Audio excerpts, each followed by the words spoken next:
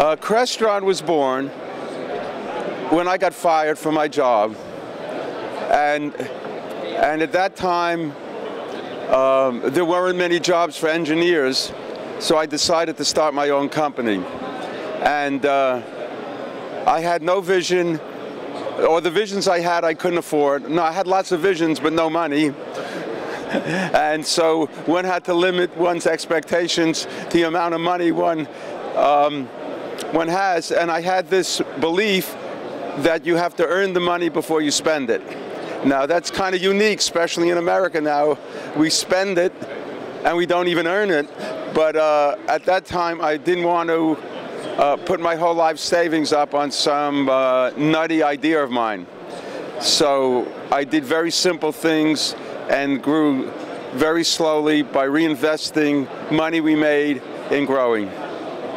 Crestron has a unique philosophy. It's a everything connected philosophy.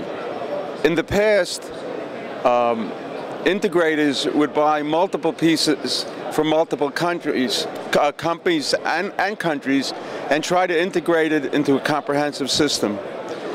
This usually doesn't work because, um, for example, a Sony TV set may not work with a Panasonic uh, Blu-ray DVD player. But when you put Crestron in the middle of all these components, we make everything work together as a unified, integrated system, just ma therefore making life very simple and integrating things like energy management, remote control, uh, cloud computing. So we, we bring to you a, a fully integrated, universal dynamic system that be, can be used literally from any place in the world uh, by multiple people simultaneously with great simplicity.